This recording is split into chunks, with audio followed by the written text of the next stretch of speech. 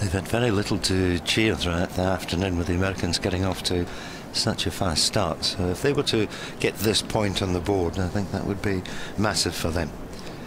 They were really struggling in the early part of the day and they've gelled together beautifully over the last two or three hours.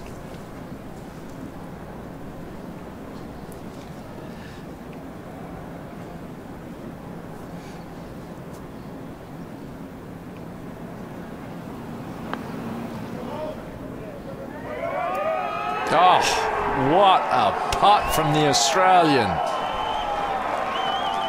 What a dramatic and fitting end to this one as Muirfield Village member Jason Day birdies 18 to close it out and the Internationals have a point on the board.